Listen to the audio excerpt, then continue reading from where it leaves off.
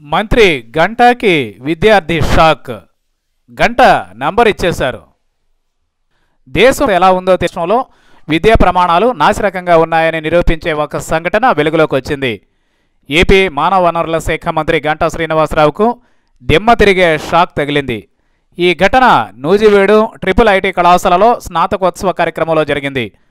బంగారు పథకం అందుకున్న ఒక విద్యార్థి మాటలకు మంత్రి నివ్వెరపోయారు.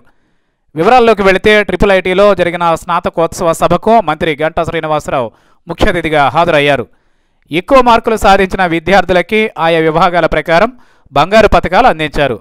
స్నాతకోత్సవ కార్యక్రమం అనంతరం మంత్రి గంట తన విశ్రాంతి గదికి చేరుకున్నారు. మెకానికల్ బ్రాంచ్ విభాగంలో బంగారు పథకాన్ని సాధించిన కోండ్రు శివకుమార్ అనే విద్యార్థి అక్కడికి చేరుకుని ఆయనతో మాట్లాడుతూ మీరిచ్చిన గోల్డ్ మెడల్ మా ప్రొఫెసర్ల వల్ల రాలేదు. సీనియర్లు అందించిన సలహాలు పాటించడం నేను తయారు చేసుకున్న ప్రణాళికతో కష్టపడి చదివి బంగారు పథక గ్రహీత అయ్యానని చెప్పాడు. అంతేగాక ట్రిపుల్ ఐటీలో విద్యాబోధన ఎంత నాసిరకంగా ఉందో బయటపెట్టేశాడు ఉన్నట్టుండి అతను అలా చెప్పడంతో షాక్ అవడం ఆయన వంతైంది ఒక్కసారిగా ఉలిక్కిపడ్డ మంత్రి తన ఫోన్ నంబర్ ఇస్తానని తర్వాత తనతో ఫోన్లో వివరంగా మాట్లాడమని విద్యార్థికి సూచించారు. అయితే మంత్రి గంట బంగారు పథకదారి శివకుమార్తో కాసేపు చర్చించారు.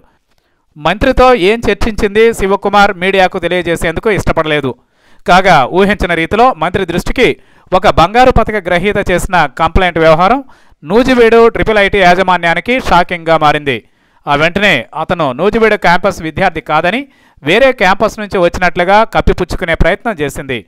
ఇదిలా ఉండగా మంత్రి గంట ఈ వ్యవహారంపై సీరియస్ అయ్యారు. సమగ్ర విచారణకు ఆదేశించినట్లుగా ఆయన మీడియాకు వెల్లడించారు.